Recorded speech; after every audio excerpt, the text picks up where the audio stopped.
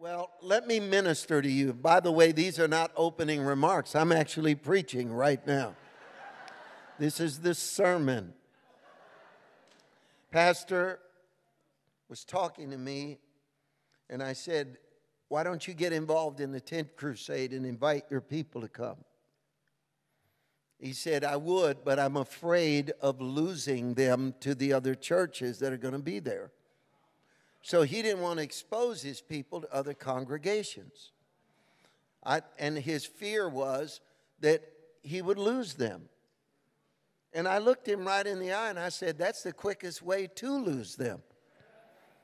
Because if you say, I'm not going, and believe it or not, there was a pastor in Batavia that preached an entire sermon on entitled these are seven reasons for you not to go to the tent crusade with Mario Murillo.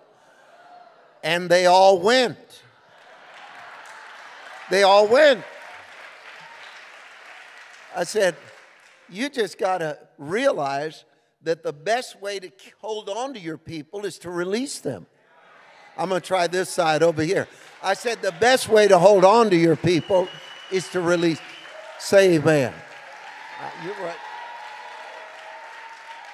Is that right? That's it. I want to read a verse and tell you how to torture the devil in the beginning. That's my first point. The devil is afraid of something that might happen in the next five minutes that is even more important than the body's being healed. See, there's a man up there with heart disease, and God's going to heal him. He has neuropathy in his feet, he has heart disease. He's going to be healed. I'm looking right down here. There's a woman that has pain on the side of her jaw, migraine headaches, neck pain that's horrible. She's going to be healed. Now, but I'm not as interested in this moment of those two miracles as I am the word of the Lord, which is going to create thousands of healings. I'm going to try this side again. Thousands of healings. Thousands. How many of you want many healings? Mighty healings. Lasting healings. Well, here it comes. As long as you're a spectator, the devil is safe. As long as we can believe that there are a handful of people that God will use supernaturally, the devil's work is easy. But if all of a sudden everyone in this room was anointed in healing to lay hands on the sick, we would immediately divide the demonic forces. Instead of picking on me and picking on them, he, he's going, I don't even know who to pick on anymore. There might be a housewife over here, a teacher over there there's a weapon everywhere. They might be at the store, they might be at the library, they may be absolutely lethal any time of day. So here's what Satan doesn't want he does not want the anointing to jump from this pulpit into your life. But tonight, I'm not going to let it go. I want the anointing of healing to fall on everybody. I want the anointing over there, over here, everywhere. Is anybody with me on that? That's it. I'm not going to quit. I'm going to press in even a little deeper. I saw how you sang. I saw the words you sang. I said, you know what? I can't even scare these people if I wanted to. That's what I love about preaching in this area. I used to preach in New York City a lot and then I don't know what happened. It, uh, I think a de Blasio or some storm thing. Uh, but I'm going to tell you that uh, what I loved about New York is you could just tell the truth. Well, you can, in New Jersey, you just tell the truth. That's it. Why mess around? And I'm not going to. Your people, Psalm 110, verse 3 in the Amplified Version. Your people will offer themselves willingly to participate in your battle. in the day of your power. I'm going to read it again. Your people will offer themselves willingly to participate in your battle in the day of your power. Now, I'm going to tell you, I have only preached in one other church since the beginning of this year. I've been here and I've been in one other church. That's it. That's because I don't go anywhere that God doesn't tell me to go. Why?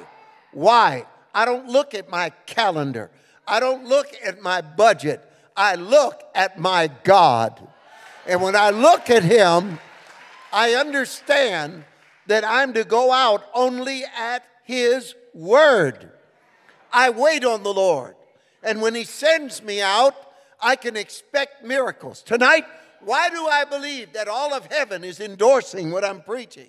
Why do I believe that angels and God and the, the, the Trinity is in heaven braced to bless this one meeting? Because I am here. I want the devil to hear it. I want the demons to hear it. I want the witches, the warlocks, and the in laws and the outlaw to hear the voice of the man of God. I am here at King of Kings in the will of God. In the, in the will of God. Yeah. And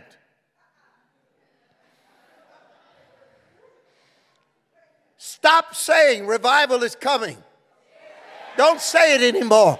I don't want to hear it. I'm tired of it. We need to retire that like the hula hoop. We need to get rid of it like the lava lamp. It's done. It's over. It's like flocked wallpaper. We don't want it. We don't want to see it anymore. Revival is not coming, it's here. It's here.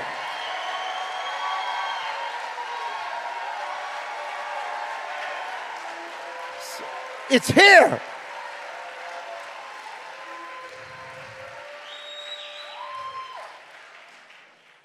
There are a lot of folks wondering what all these cars are out here. There's folks from your community, they're driving around.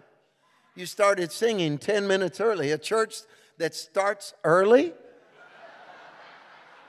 That's like trying to find lips on a chicken. And you know what? As you were getting out of your car, people are wondering what's going on here. They're wondering what's going on because you're excited. These people say, Man, I saw people running into church.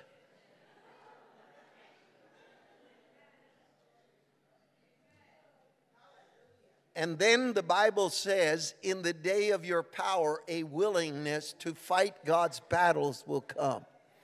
Now, here's what I want you to understand you are not a housewife, dear. You're not married to a house. You are not the wife of a house. And you, none of you are normal. No, I look here, none of you are normal. You know, normal went out the window about the, the, the second stanza of the first worship chorus. Normal just took wings and went somewhere else.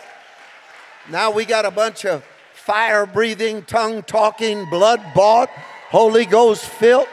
Do I need to go on with this or somebody going to get excited right now? We are the soldiers of the army of the Lord. We are the army of the Lord.